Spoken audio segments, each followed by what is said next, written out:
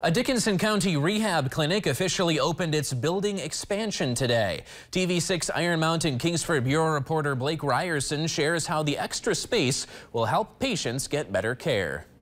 Community partners and former patients toured the new additions to the Marshfield Medical Center Dickinson Kingsford Rehab Clinic. Just moments earlier, staff cut the ribbon celebrating the opening of the additions. Marshfield Medical Michigan Operations Director Dylan Taylor says the clinic lets people stay in their own communities to get rehabilitory care. We love supporting rural. It's really important to have sites uh, in these rural communities so patients don't have to travel very far to, to get these services. So that's what's really important to us, and we want to continue to do that into the future. The additions add up to almost 2,100 more more square feet. It includes private rooms for both more patients and specific patient needs. Marshfield Medical Center Dickinson Rehab Services Director Sarah Gunville says each staff member works together to give patients the best care. As a professional that works here, we do really work well to collaborate with one another to ensure that we are providing the best services that we can for that patient and meeting their unique needs. The rehab clinic covers many different aspects to rehabilitory care, from balance issues to geriatric or pediatric care. The clinic even offers athletic trainers to schools in Dickinson and Florence counties. A Dickinson County native, Gunville says she's experienced the types of services the rehab clinic can give. It's an honor to see that our community is getting the care that they need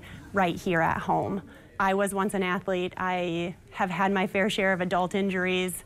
Um, so being able to provide those same services and get people back to their way of life means a lot to me. 20 people work at the clinic. Blake Ryerson, TV6 News, Kingsford.